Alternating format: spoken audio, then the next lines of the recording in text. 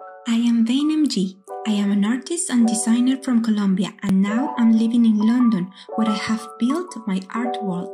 Welcome to my colorful universe full of paintings, street art, toy design, anime, neon colors and digital illustrations mixed with my Colombian roots.